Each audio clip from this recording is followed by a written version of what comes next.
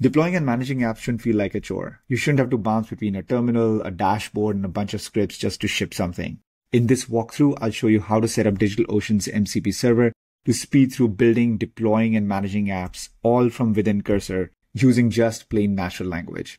We'll set up the MCP server together, create and deploy a real React app, make a change to it, redeploy it, and check the logs while we are doing all of this, all from within Cursor. I'm starting here on the DigitalOcean MCP server GitHub repo.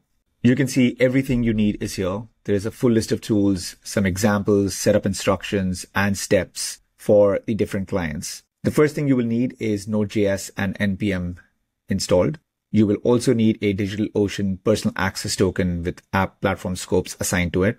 And finally, I'll be using Cursor as my MCP client, but you can use any of these supported MCP clients like Claude Desktop, Claude Code, Windsurf. Now, this one is optional, but having GitHub CLI set up on your machine is very helpful for cloning repos, creating projects, and working with other GitHub based apps. The first thing we need is a DigitalOcean personal access token. So I'll go ahead and generate that now. I'm on the DigitalOcean API token page and I'll create a new token called DOMCP demo and make sure all the app platform scopes are selected. Once I click generate, the token appears and I'll copy it in just a second after we wire up the config. Back in the GitHub repo, I'll copy the JSON config snippet. Then in Cursor, I'll go to settings, cursor settings, MCP, add a new global MCP server, which opens up the config file. I'll paste the snippet in, go back to the browser to copy the token and drop that in place of the placeholder here. Save the file,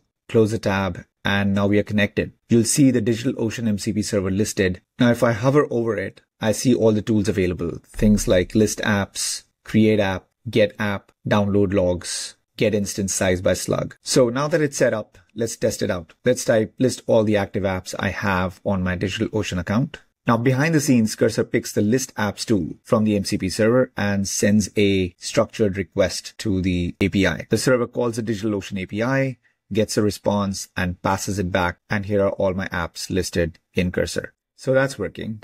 Let's build something now. I'll say create a simple hello world React app using CSS bootstrap styling. Now, since I'm running in agent mode, Cursor starts building the project automatically. It then tells me the app is ready and I can run it with npm install and npm start and the app spins up on localhost 3000. Okay, that's great. We have the app running here. Let's deploy it. So I'm going to say, let's deploy this app to DigitalOcean's app platform using the smallest instance size in the NYC region. Now this time Cursor first uses the MCP tool list instance sizes to fetch all the available options for me. And this is important because normally I would have to just dig through docs for this. And then it calls the create app tool to start creating the app and get ready for deploying. And you can see the instance size slug is selected exactly the way I wanted.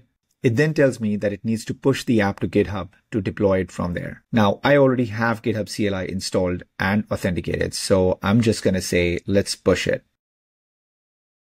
Now, a few things happen here. It initializes the repo, it adds all the files and commits all the files, and then pushes it. There's a repo that all the commits have been pushed to, and it confirms that the app is now being deployed to DigitalOcean's app platform. And here is it confirming that the smallest instance was used and the region was NYC, exactly the way I wanted. It.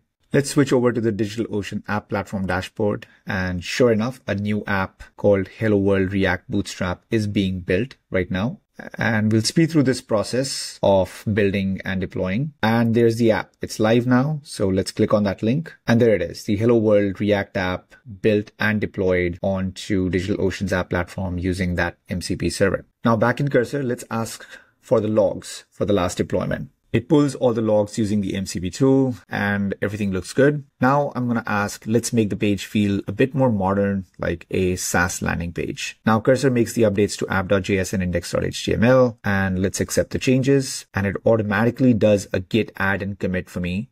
Let's test the app locally and there's the updated page. Let's go back to Cursor and ask it to push it to the app platform.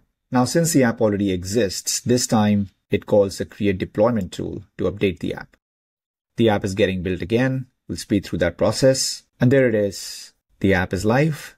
And just like before, once it's live, I click the link and I now see the updated version. New layout, a bit cleaner look, and it's deployed to the app platform so it's accessible on the internet. That's it. From zero to deployed, all from within Cursor using DigitalOcean's MCP server. If you want to try it out, head over to the GitHub repo, grab your API token, wire it up in Cursor, and start building. If you hit an issue or want to request a new tool that you feel should be included in this workflow, please open an issue. We would love to hear what you're building with it. And thanks for watching.